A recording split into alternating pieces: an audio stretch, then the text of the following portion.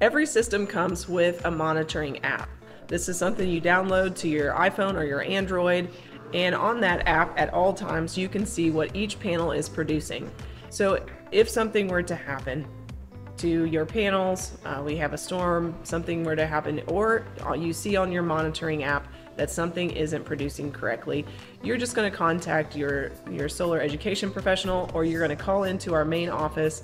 We will do the best that we can to check that on our monitoring system. Sometimes we can do a simple push or a reset remotely. If that doesn't work, we're going to add your job to a, um, a customer service call that, that, usually the next morning. We'll send the guys out to check things out. If it needs to be replaced, we'll replace it on site and then we will handle all of the warranty paperwork for you on the back end.